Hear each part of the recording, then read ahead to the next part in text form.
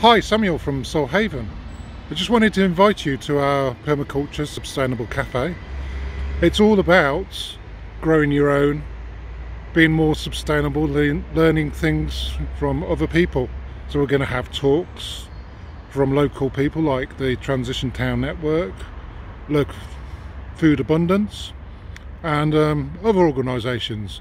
Also it's a place to get together, to be able to encourage each other to grow your own, be more sustainable and just understand what that means for us and to support each other in our journeys to be more sustainable. I hope to see you soon at Solhaven.